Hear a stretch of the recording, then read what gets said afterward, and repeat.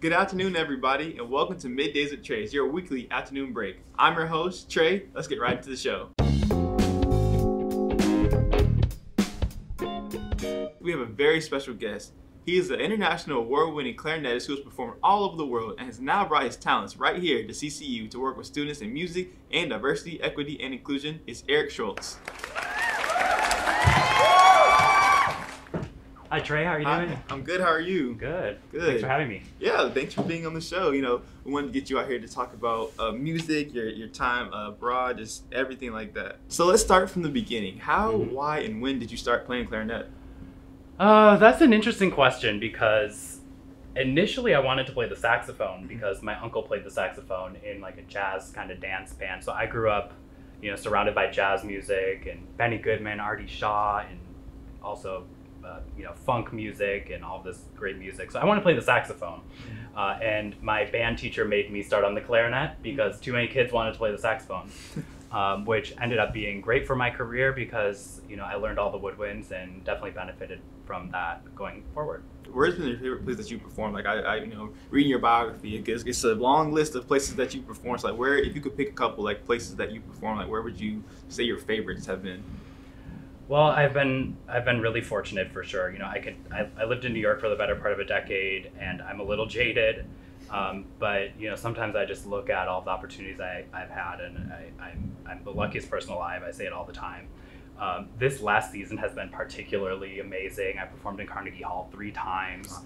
Um, one performance was premiering the um, music of a uh, Holocaust survivor um, who survived Auschwitz, and his piece had never been played. We played it at Carnegie Hall. It was very emotional. Um, and, uh, you know, this season, a lot of great stuff's happening. Um, my chamber orchestra, the Victory Players, will be playing um, in Puerto Rico, so we'll be back on the island that inspired all of this amazing new music that we've commissioned over the last, you know, five years. So, uh, lots of amazing things Yeah. happening. yeah. That's great. That's great. And I heard you're making an album. The process of making an album. Yeah, we re- we uh, recorded it here in March, right here in the Edwards Recital Hall. Um, McKinley Devilbiss recorded it, and now it's been passed on to um, Grammy award-winning audio engineer Antonio Oliart, and so he's working on the album. I have no idea how long that's going to take, but Yeah. hopefully I can get that out this year. So this is all new to me. It's my first album, so I'm Wow. very grateful for that as well. That's such a cool thing, especially that you recorded right here at Yeah. CCU, and especially in the Edwards College. It's, it's very cool. So, uh, speaking of CCU, how did you get involved with DEI and you know everything that goes into that at CCU? Sure. Well, it was kind of a natural progression because my whole career has centered around, you know, commissioning new music and especially diverse new music. Like I talked about my chamber orchestra, and our first project was El Puerto Rico. So we commissioned, you know, te- 10 Puerto Rican composers. Um, we moved on to now Mexican composers, and I talked about, you know, the Carnegie Hall de- debut of the Auschwitz symphonic poem. Um, so when I got to Coastal, I was having conversations with students um, that had not had the experience of playing music by people that, you know, look like them. You know, whether that means um, female composers, Asian composers, you know, composers of, of color, Hispanic composers, anything. Um, and that was really hard to hear at the time. Or, you know, remember, I started here in August 2020, and we were having, you know, all kinds of conversations coming out of the pandemic, and you know what happened with George Floyd, and all these, you know, kind of societal, socio-political movements happening. Um, and so it, it just kind of happened naturally. And we just started, you know, with Diamond Gaston and uh, my student Haley Cornell looking at, you know, who are the great women composers, who are the great composers of color that we'll talk about um, out there and what amazing music is out there. And my gosh, did we find a gold mine of amazing music. So So, speaking about your work with students here at Coastal, what are some upcoming events that you guys have coming up, uh, you know, for the semester or the rest of the year? amazing events happening this semester. Um, we have uh, September 16th, um, the Edward Center for Inclusive Excellence with the IS office in Myrtle Beach Pride. We're going to be showing the movie Moonlight and have a talk back session as a kind of kickoff to Myrtle Beach Pride Week. Um, October 14th is Edwards Open House, so you'll get to hear from the new faculty fellows in the in the Edwards Center for Inc- Inclusive Excellence about those new projects and new students and faculty starting in the center with their amazing ideas.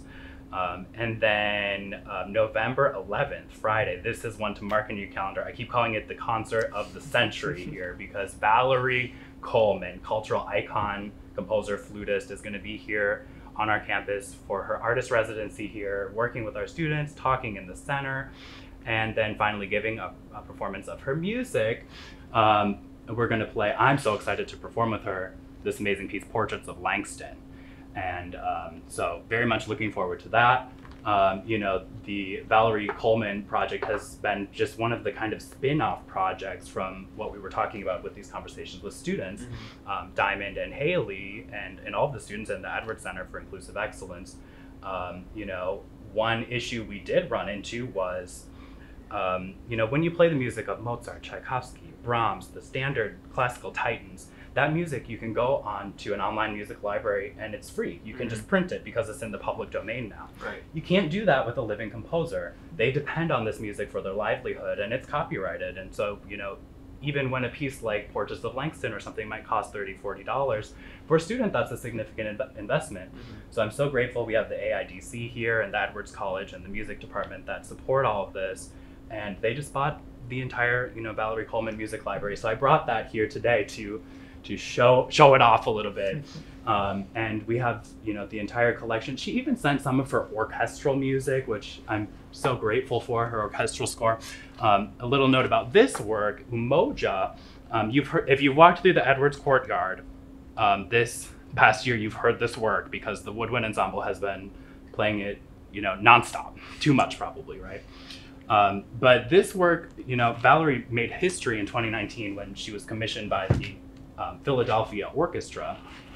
Um, she was the first woman of color ever commissioned by a major American orchestra, um, a Big Five American orchestra, as we call it. So um, she's secured her page in the history books, and it's our honor to have her here, and I, I just can't wait. So yeah. please mark that in your calendar, November 11th, uh, 6 p.m. right here in Edwards Recital Hall.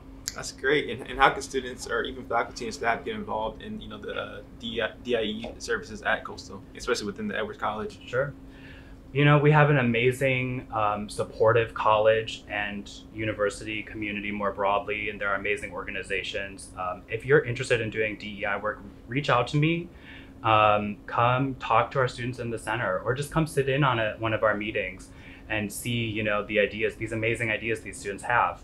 Um, and you know, we we often too, you know, for example, with with Valerie Coleman being here, when the is office, Marquita and Josh heard about that, they're like, "Can we do something for her? We this is a good idea. Can we get in on this?" And and women and gender studies as as well wants to you know come in and work and listen to her. What does she have to say? It's we're not just going to be playing her music, but also like hearing her stories and where she comes from.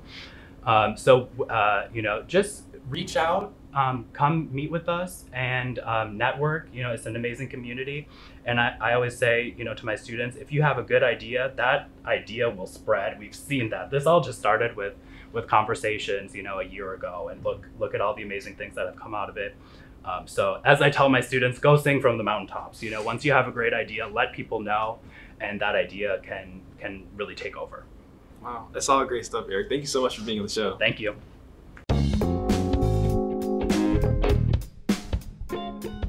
For this week's hat of the week, we're rocking the Takis hat. And this hat actually has a pretty funny story. So a couple Fridays ago, before classes started, uh, it, we had an, a band event, um, you know, at Walmart on 501. If you're not with 501, if you're not from Conway Myrtle Beach, that's the main highway that goes through pretty much everything in this in this city slash town. Um, and, in the Walmart, we had the band playing as people were getting their groceries, as students were getting their, you know, their move-in stuff, you know, their pillows, their bed sheets, you know, everything that they needed to move in. The band was playing for them, um, and and so they also had a table set out with different vendors. So they had Sara Lee, they had different, uh, they had like ice, the you know sparkling drinks. And they also had Takis, and Takis was giving out these awesome purple hats. You don't really see purple hats like that, you know.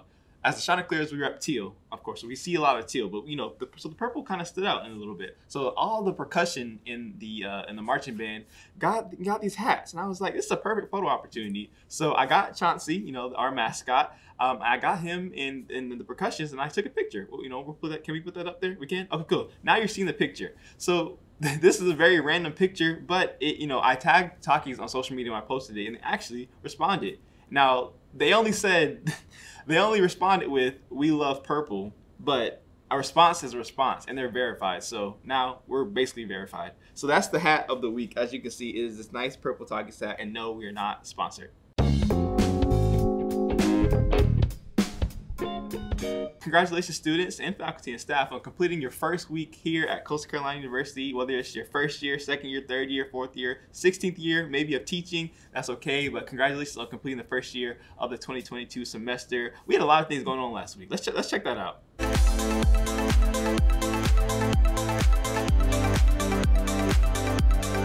So as you can see, we had a lot of stuff going on last week, and it's just going to keep rolling with the events, the speakers, the in, uh, educational sessions. So just keep tuned, stay tuned with the Edwards College, and you know just coastal in general, and enjoy the coastal experience. So now it's time for your weekly update. So starting September 5th and running through October 7th, we're gonna have world-renowned artists and actually the HTC uh, Distinguished Teacher Scholar of the Year, Charles Clary, and he is a professor here at Edwards, and he is, like I said, a world-renowned artist, and he actually will have um, his, you know, his artwork for display in the Rebecca Randall Bryan Art Gallery downstairs in the Edwards building. If you don't know about that, please come check it out. His artwork is amazing. He does like paper cutout artwork, so if you haven't seen it, it's, it's amazing. I would definitely recommend checking it out.